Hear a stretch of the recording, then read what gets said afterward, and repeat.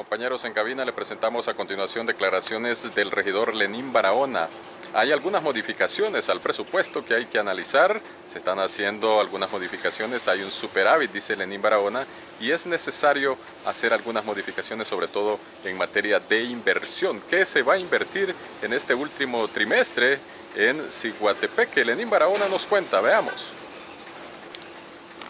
Presupuesto, pues eh, recuerde que al final son dineros del municipio y todos estos temas son bien sensibles. Nos hemos llevado alrededor de una hora más o menos en la discusión eh, del, tema.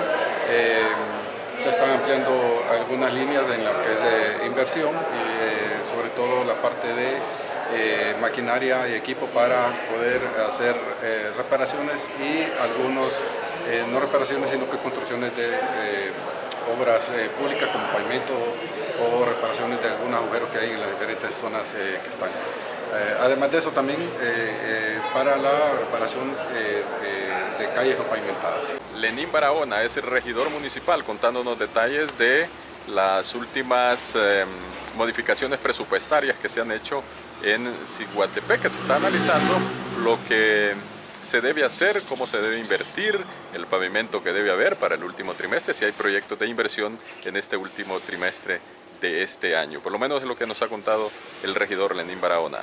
Adelante compañeros en estudio.